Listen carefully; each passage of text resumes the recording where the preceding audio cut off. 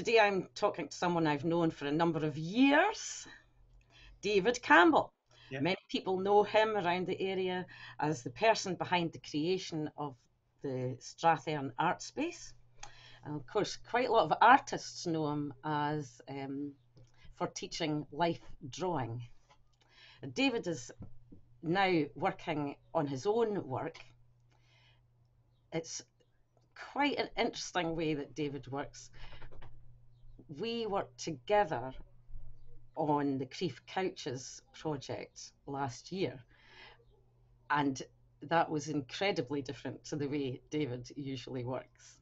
hmm yeah, very. So, David, would you like to explain a bit about your technique? Um, well, the, the technique's based on a, um, a sort of uh, technique known as uh, the Venetian technique, um, which is basically working on um, in, in very thin layers of paint. Um, so you start off with an impasto layer of paint that's, that's thick, thick paint, and then you um, you work on it. Then you would add a, a translucent layer of paint on top of it and you can you can these are known as glazes. Um, uh, each painting can have upwards of 40, 40 layers of paint on on e- each painting, um, all of which takes um, you know the paint has to be dry before you apply the next layer. Um, although you can sometimes work wet into wet, which is uh, um, just depending on how, how the how the image works.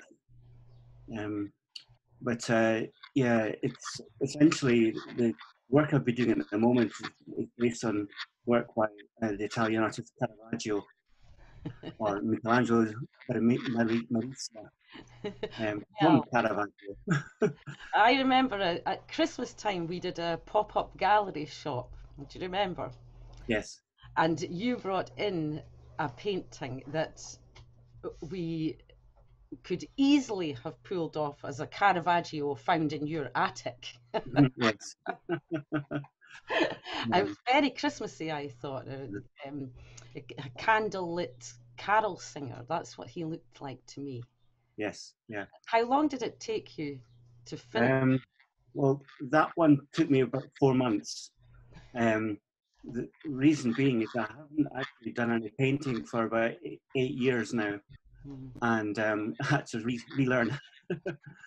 um, so I'm still uh, still going through that process, which is why I've been working on these um, Caravaggios because it's a, a good way to learn it, relearn the technique, Yeah, yeah. um, and uh, get my hand skills up up to scratch. Um, after such a, a long period of uh, doing doing very little um, of my own work. So you're not a person that goes splish, splash, splosh. No, well, although I have done, um, uh, I've, I did do quite a lot of um, kind of abstract landscapes many, many years ago. Yes. How do you choose the subject matter for your Caravaggio type paintings? Um, uh, well, essentially, I was, I was looking for uh, individual figures. I didn't want to do any paintings with multiple figures. Uh, it's too much like hard work. So, yeah, the criteria would be looking for uh, uh, an individual figure. Um, and uh, the thing with Caravaggio, it was particularly interested in play of light against dark. So um, it- it- most of his work appears to have been painted at night, um, almost almost by candlelight, um, which actually suits me quite well because it means I can get on and do other things during the daytime and work at night. Well, I know that during lockdown you've got your whole family at home with you just now, so it must Yep. be hard to find the time. Because I, I know that you make a lot of bread and you're a great cook, so Yeah, that well- that take up your day. yes, there's, there's quite a, a number of things. Chopping wood as well. And chopping wood. Um, and uh, I can see all behind you is all all these bottles and things. You've found a Mm. nice quiet space at home as your studio. Well, we've got a wee bothy, Places. a, wee Ah, bothy that um, in olden days the, the farm workers would, would sleep in here. wow. Um, so um, yeah, that, that's attached to the house. So it's, it's turned into a, a, a wee studio sort of office space. So you can escape to the Yes. Yep, yep. Mm, That's nice. That's nice. And do you ever actually try to work by candlelight? Uh, no, um, uh, I use turpentine far too much. I think it might be a Oh, bit of a fire risk. yeah, yeah. Boom. Yeah, so Yeah. And are you trying to get into the gallery market again, or are you just doing this for your own personal love of art? Um, no, I, I think um, you know certainly we'd be looking to exhibit again. Um, it's, uh, the uh, I think the work still needs, a- needs a bit more work on it to get. before- Well, you've only spent two months on this one. no, it's got another two months to go. yeah, well, hopefully I won't take that long. But, uh, it does it does go backwards and forwards um, as time goes on.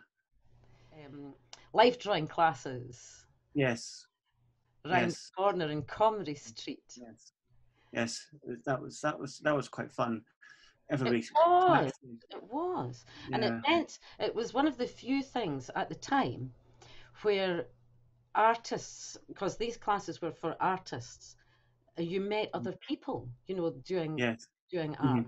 Yeah, the um, the thing I, I've, I've, I discovered through doing the lifetime classes was the amount of actual artists that are actually working in this area. It's incredible, um, Yeah. and and the, the the the the quality and standard of people is really, Mhm. um, you know, it's really amazing. Um, and Yeah, some, some, some people really well known in the field as well. I know, it's incredible. The area is very arty.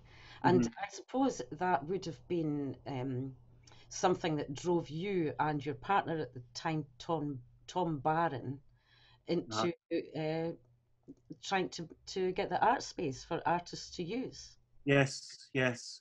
Well, originally um, we were looking for somewhere to um, a bigger space to, to run the drawing classes, um, and um, we after as you you know, most people know the story about getting getting the the old library um, was you know we went in there and um, it was just it was far too big to be just an artist studio.